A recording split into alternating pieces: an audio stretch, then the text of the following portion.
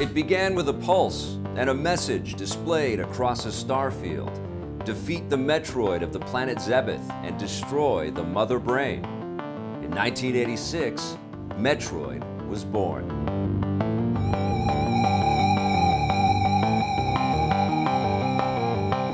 Hi, I'm Victor Lucas from the Electric Playground, and one of my video game favorites is Metroid. The series heroine, Samus Aran, is one of the most indelible characters the game industry has ever produced, and she's been well represented across many different Nintendo games and other media, but the reason why she resonates is her core series, which began on the Nintendo Entertainment System. I remember seeing the original Metroid in a Nintendo Power magazine at the time, and it was a game that I just I just absolutely needed. The idea of sort of this big, expansive, open world. The graphics at the time blew me away. You look at them now, and they're not as, quite as impressive. Um, but I, I, remember getting the game for the first time, and it came in that silver box, which was super unique at the time because all the boxes were black. I think it's obvious to most people who've played it. There's a certain alien vibe about it, and it's been said by the developers that they really did like the design ethos and the feel of the, of the movie when they were creating uh, Metroid. You know, you've got the strong female protagonist, the dark sci-fi. It's like a modern interpretation of the Alien as a video game. We didn't have the internet back in my day yeah. to sort of lean on to like, okay, well, how do you beat this boss? Or like, when do you get this weapon? It was all the conversations that you'd have with your friends at the playground. Like, oh, how did you fight Ridley? For example, like, how did you get to that spot? Or did you know that there was a secret wall? Those things, those myths and those legends, it was like the first time for me where sort of opened up a completely different world of games. You could see the influence of that game just basically spread throughout the industry for years. And it actually took a while, I think, for people to actually pick up on that stuff, but you, you still see it today. Although the introduction of the first Metroid game was very successful, the sequel was crafted for an entirely different platform. One of the theories about why it was a Game Boy title was because the lead producer of the original title was also the, uh, the man who created the Game Boy, and maybe he was showing a bit of favoritism, you know, I don't know, but it, you know, it kind of makes sense. Now, that second Metroid game, originally for the Game Boy, is making a comeback, but this time for Nintendo's 3DS family of systems. Here's Nintendo of America's Bill Trinen. Metroid Samus Returns is an all-new 3DS remake of the original Game Boy game, Metroid 2 Return of Samus, uh, and tells the story of Samus as she goes to try to eradicate the Metroid threat from the galaxy. Metroid 2 Return of Samus was perhaps the one that was most rudimentary simply because it was developed for the original Game Boy. And so it was, of all the Metroid games, the one that hadn't been remade yet. Um, and because it was born on a portable platform, we thought it made sense to bring it back on a portable platform. But at the same time, by being able to leverage the power of Nintendo 3DS and the depth of those 3D visuals, um, what ended up happening was they completely remade all of the maps and everything within the game world in a way that actually makes this perhaps the most advanced side-scrolling Metroid game that we've ever produced. We'll have more on Metroid Samus Returns in a moment, but first, something very interesting about the Metroid franchise is that the narrative timeline does not follow the chronological delivery of the games. Let's face it, Samus is the, the universe's most formidable bounty hunter. She probably gets into fights and scrapes everywhere she goes, so you know, the development teams have been able to kind of pick at her history and decide where they want to take the next gaming experience. Who knows where they'll go next? In the first game, Samus traverses the caverns of a planet called Zebeth, which in later games is called Zebes. She's a bounty hunter in a very cool power suit, and she's trying to stop space pirates from using a dangerous bug-like alien species, the Metroids, as a bioweapon to take over the galaxy. Samus eventually battles and defeats an evil AI creature called Mother Brain and its two space pirate guardian bosses, Ridley and Kraid, and saves the galaxy.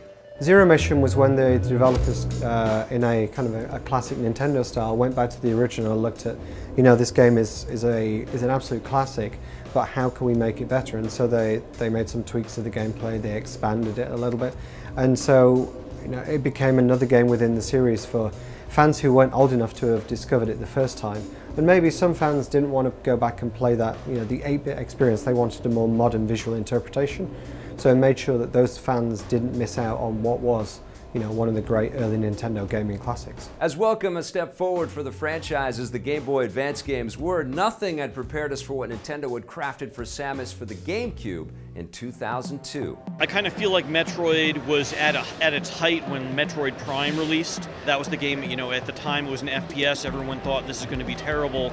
And then like when you when you first played it, it was just this amazing like sci-fi, better than you even realized it could be. In all the Metroid games, this is by far my favorite one. I can still absolutely crystal clear picture myself sat in my place back in London, you know, playing the game, dying frequently, and just loving it. The story for the game centered on Samus Aran landing on a planet called Tallon 4 in an attempt to stop space pirates from exploiting an energy source called Phazon. In the ancient ruins of the Chozo, Samus fights Metroids, space pirates, and bosses like Meta Ridley before ultimately facing off against the titular Metroid Prime. It's just one of those games that everybody who played it and appreciated it really loved it. You don't have people who think, oh, it was okay.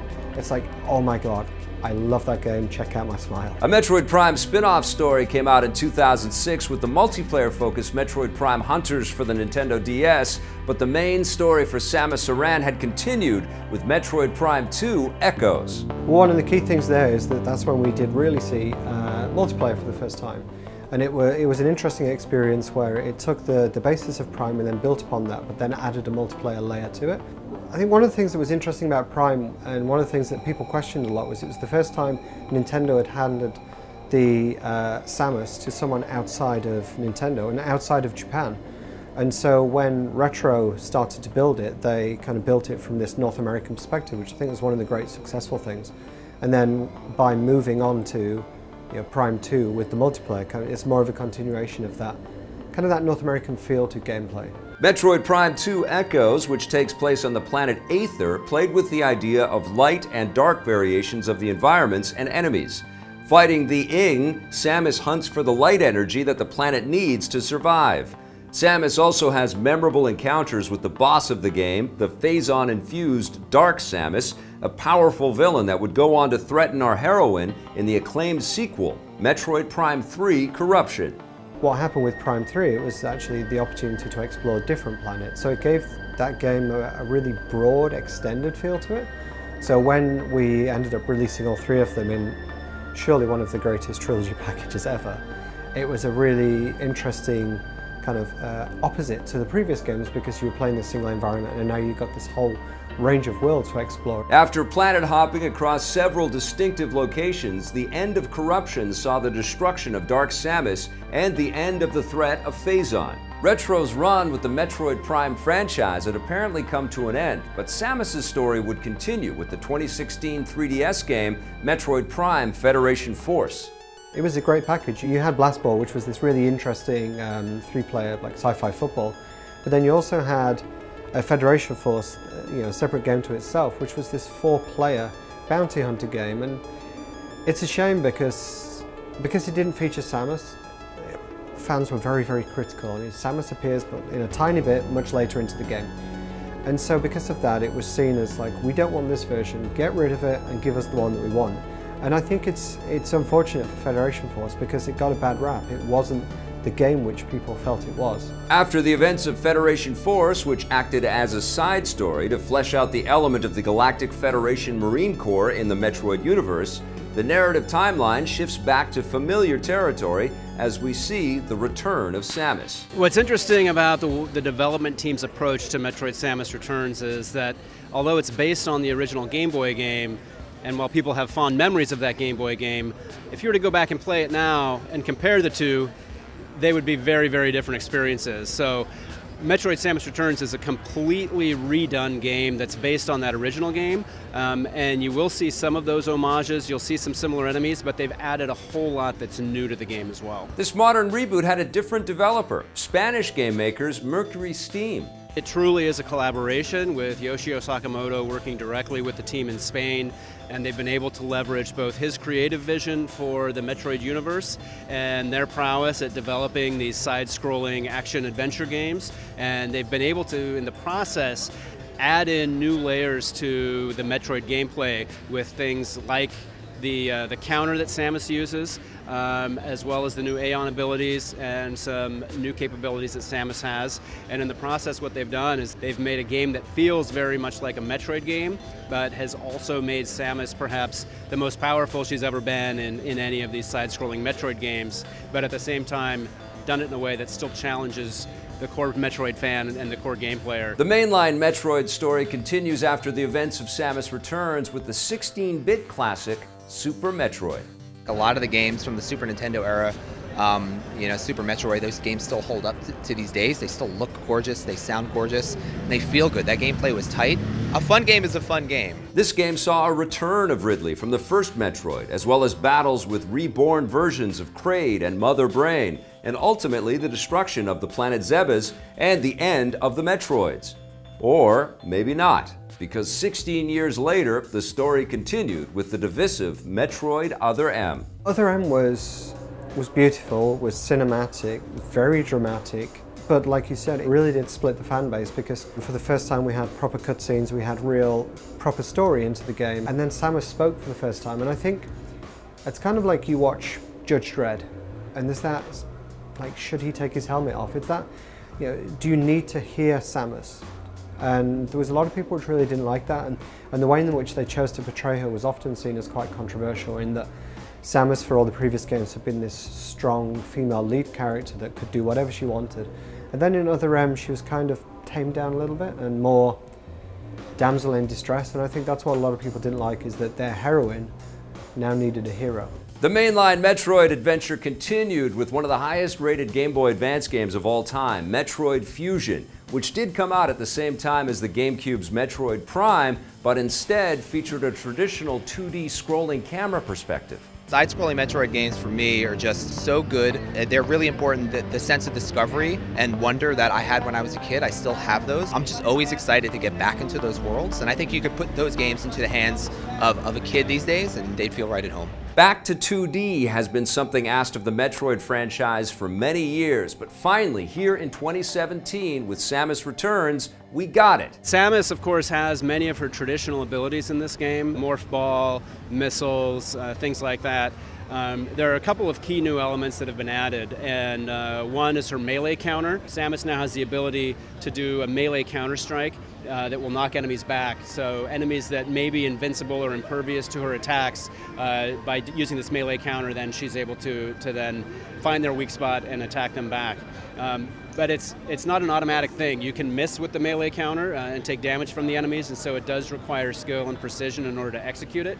On top of that, uh, there's a whole other layer of new abilities called Aeon abilities. Um, and Aeon abilities give Samus tremendous new power that are going to be really important in helping her explore the world and also in, in battling those, uh, those enemies in this game. But what is it about Metroid that makes it so special and so meaningful to so many players? I think what's unique about the Metroid franchise is the sense of place that you get from those worlds and those games. There's certainly a sense of, of solitude, a sense of loneliness in those alien worlds, the sense of threat that you get, and yet at the same time, the sense of discovery that you get as Samus uh, gets new powers that give her access to new areas. Also, of course, just that sense of challenge when you're you're battling some of those amazing enemies and amazing bosses. My Metroid memory, right, is that going to college and my roommate Kyle Hayes buying a GameCube on day one, and me sitting there and watching him. I'd eat frozen pizzas and watch him play Metroid Prime, and to watch him just go through and do this first-person thing that seemed amazing. It seemed awesome, and the fact that they're remaking Metroid 2 and putting it on a 3DS,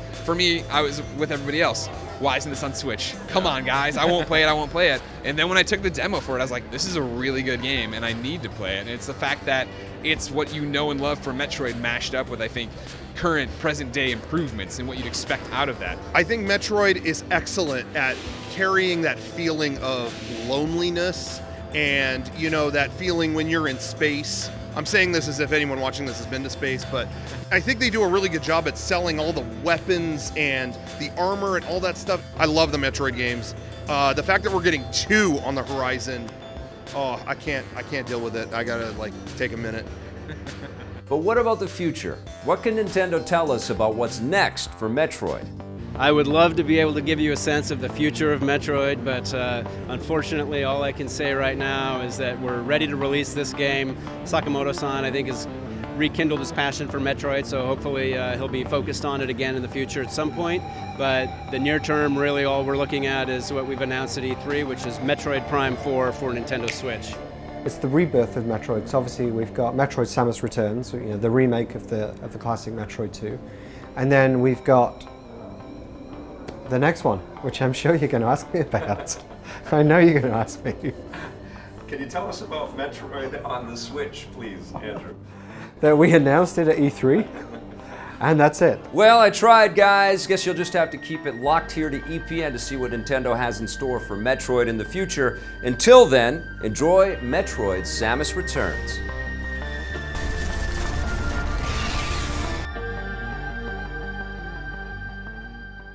Hey, thanks for checking out that video on our EPN channel. It's just one small part of the things that we make around here. So if you liked it, don't forget to check out some of our other vids and hit that subscribe button.